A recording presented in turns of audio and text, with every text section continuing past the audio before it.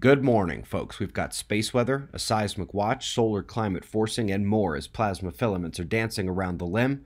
We begin at spaceweathernews.com and find the last 24 hours on our star with the bright active regions turning through, southern coronal hole presenting itself fully with a transequatorial trailing portion into the north. There have been no more solar flares. Hopefully, you recall that in addition to turning towards the limb and to the far side, the C class flare we did get, in fact, split the active region, and this morning we can see she's about to depart, still split down the middle. Solar wind dropped out intensity even more, and all is quiet both at the sun and in the geomagnetic system. We've got about three days until the solar wind from this coronal hole arrives at Earth, but magnetic connection to it and lithospheric alerts begin today.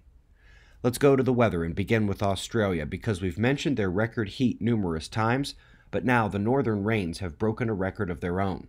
This footage in Queensland comes as the river breaks its 118 year flood marks in an event that is unmatched in the lives of every single resident there.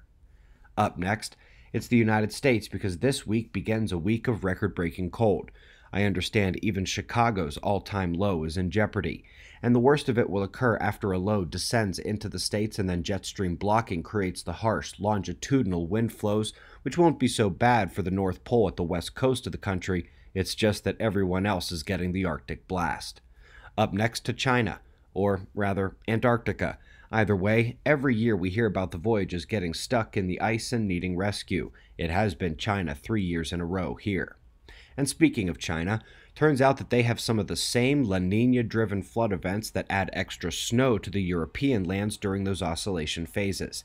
Everything ENSO related is not only critical, but will be amplified in the solar grand minimum coming this century and a magnetic reversal scenario. Lastly, folks, speaking of solar forcing, I was checking out the CMIP6 official climate data solar numbers to see why some of the recent studies were looking a lot like the past versions. Well, they are offering the data sets without particle forcing for those climate scientists in pure denial and those unable to cope or comprehend the magnitude of solar wind, CMEs, cosmic rays, etc., that hit our planet every single day. Hope you catch that right there in the middle.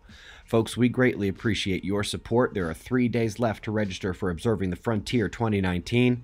No denial there. Solar climate forcing, micronova, magnetic reversal, and more. Love to see you in the desert here in just three weeks. We've got your world wind maps followed by shots of our star to close. We'll do this all again tomorrow, right here, but right now it's 4:35 a.m. in the new valley of the sun. Eyes open, no fear. Be safe, everyone.